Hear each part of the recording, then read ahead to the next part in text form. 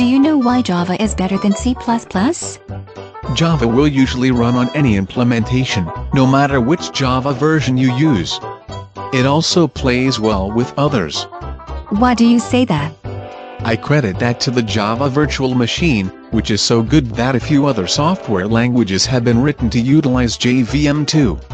C++ is not as rigid as Java. Java is better for beginners, whereas C++ is closer to the machine-level logic. That means C++ is used almost everywhere. C++ is almost an all-or-nothing implementation. You can use it for sound card controls and graphics manipulation, but it lacks interfaces with other apps and takes massive manipulation to run as an embedded app. If C++ has been around longer, you can find existing code modules for what you need.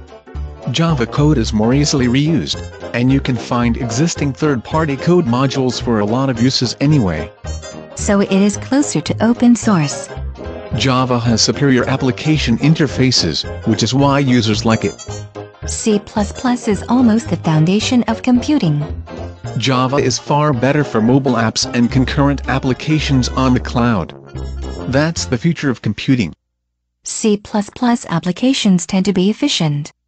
C++ is better for scientific computing than Java. C++ has also been voted easier to shoot yourself in the foot with. I don't consider that a vote of confidence for the language. C++ has been rated better for real-time applications. Except for drivers and OS-level interfaces, it isn't getting used for many real-time applications. Apple even moved away from C++ to Objective-C for their iOS development. So Java can do almost everything.